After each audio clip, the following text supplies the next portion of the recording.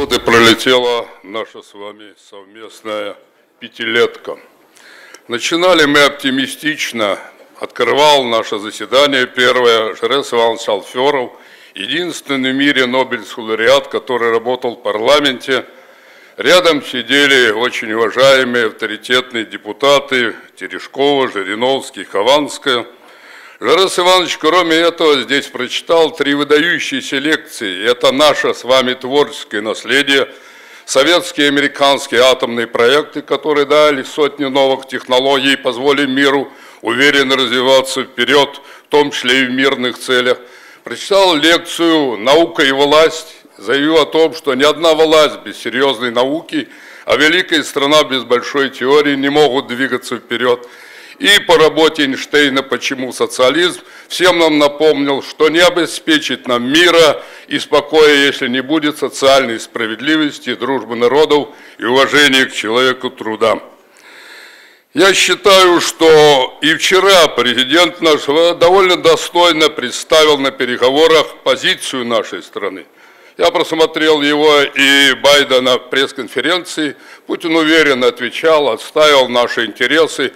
Все делал для того, чтобы аргументировать и помогать стране выбраться из сложного международного положения.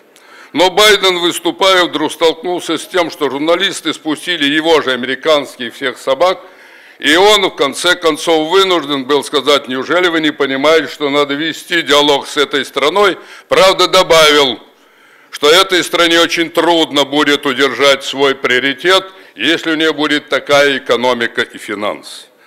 Здесь выступал дважды Путин, представил свою стратегию войти в пятерку, одолеть бедность, все сделать для того, чтобы победить вымирание и обеспечить новейшие прорывы в технологии.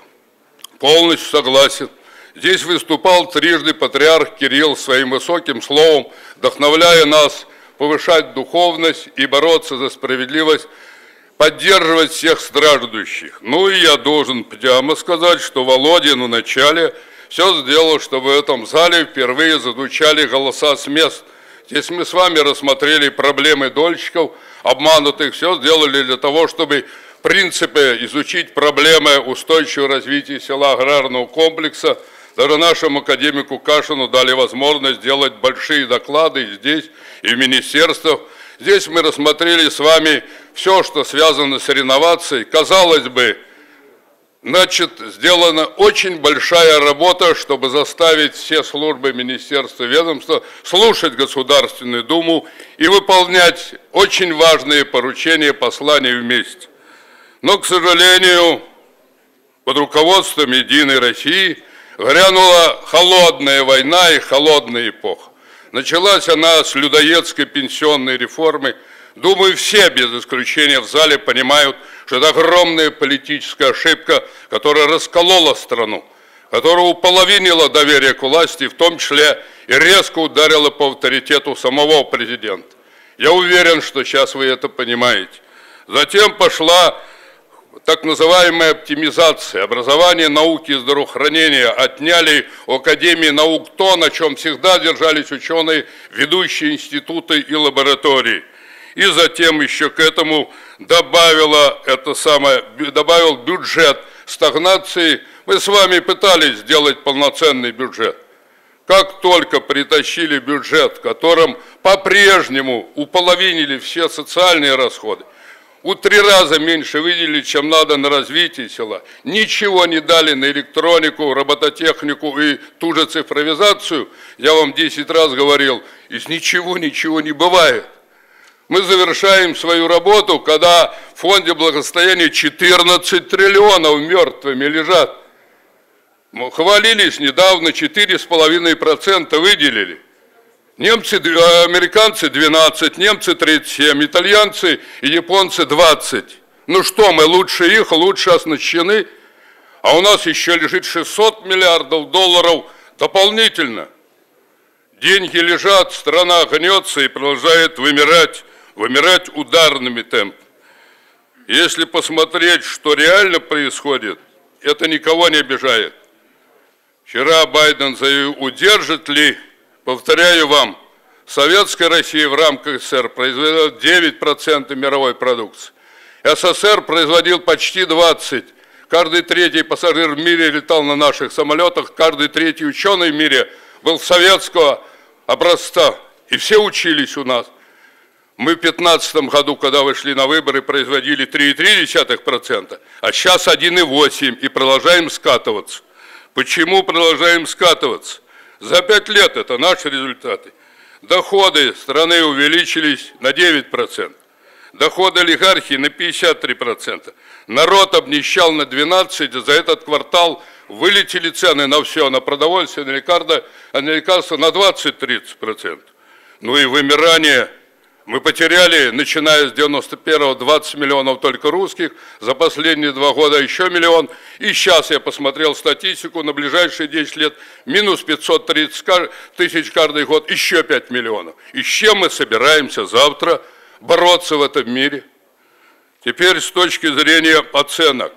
Я вам привожу оценки не свои. Давос просмотрел, Петербургский форум весь внимательно и саммит семерки только закончил. Слушайте, что говорят все главные люди планеты.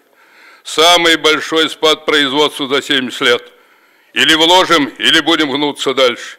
Пик неравенства. Никогда такого неравенства не было на планете. Убитая экология. Нам придется сумасшедшие деньги вкладывать. Вирус обострил все противоречия и пока никуда не ушел. Я в прошлый раз вам выступал и говорил, один из десяти привитых. Почему не прививаются? Они не верят нам. Они не верят власти. Они не верят Думе. Они не верят правительству. Обобрали, обобрали, все карманы вывернули и побегут сейчас вакцины. Хотя вакцина сделана классно, потому что люди перестали верить. А это крайне опасно. Дальше. Можем ли вылезти? Можем только вместе. Все подтверждают.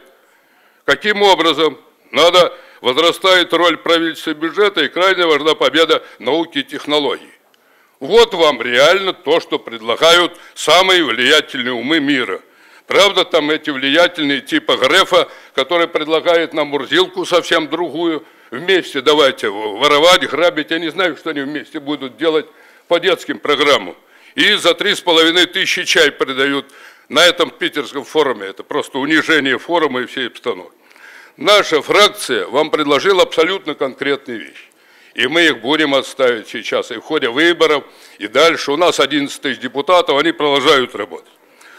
Образование и наука. То, что подготовили Мельников, Кашин, Смолин, Афонин, Новиков, Коломейцев, Харитонов, Савицкая, мы проведем в любом случае. Это главная наша программа, и без нее мы никуда не денемся. По-прежнему баба их душит, а отсутствие воспитания школы приводит то, что мы видели недавно в Казани. Новая индустриализация и национализация абсолютно неизбежны. Что бы вы ни говорили и что бы вы ни делали, с изношенными трубами, с пожарами, взрывами, мы вперед никуда не продвинемся. Что касается АПК, для АПК это главный вопрос. Я вчера и руководству администрации президента, и президенту говорил, и вам говорю, поручите нам, мы вам удвоим доходы от, по этой строчке. Поручите, все готово. Удвоим но я вас просил, позволь, отстаньте от коллективных предприятий. Сидят по-прежнему эти мерзавцы вокруг совхоза Ленина. Тысячу судов. Неужели вы не в состоянии ответить на этот вопрос? Неужели члены Совбеза так не откликнутся на письмо открытое, которое обратил президенту и так далее? Есть же элементарные нормы и практика чиновничьей работы. Вы обязаны в течение месяца ответить права трудящихся. Неужели проблема прожиточный минимум 25 тысяч дать, чтобы народ не вымирал? Это никакой проблемы нет в этом отношении. Покупать будут, будет зачем производить. Здоровье. Программа «Симашка» оправдала весь мир. Она позволила привить вакцину от черной оспы не только своей стране. Президент привел этот пример, но я вам напомню, в 1959 году, когда черная оспа тут появилась, добавьте пару минут, завершаем, теперь не скоро встретимся. Добавь минут и так далее. Мы привили в Москве за 6 недель 6 миллионов 100 тысяч человек. Никто не паниковал и не орал, потому что понимали, что это такое. Это вопрос, который решается походя, а не новыми авралами. Экология, пожары. Слушайте, спалили на своей территории разрушив не принял наш лесной водный кодекс, 7% лесов, 7% спалили и вырубили, не хотят сажать их, в. И они будут гореть. Вы разогнали все коллективные хозяйства, в каждом из которых была пожарная команда и в состоянии были тушить. Сейчас некому деревню опахать, когда полыхает трава, собственно говоря. Бюджет развития его 33 триллиона, он лежит, вот докладывали наши, вы же знаете прекрасно об этом. Ремонт Конституции, ну можно было произвести, поддержали. 15 поправок. Говорил тогда, ну хоть примите три. Первое, дети войны, им стыдно в глаза смотреть. 7 тысяч, 9 деревни, 10, 15 в городе, стыдно, так и не приняли. Образование для всех, ваших детей, так и не приняли. Примите обязательно, поддержите нас по минимальной оплате, то же самое. Я считаю, что без честных, достойных выборов страну партия власти пригонит к Майдану неизбежно – неизбежно. Поэтому мы будем бороться за честный и достойный выбор. Вы приняли 18 законов, чтобы заткнуть рот и прекратить диалог в стране. Диалог должен быть всегда полноценным.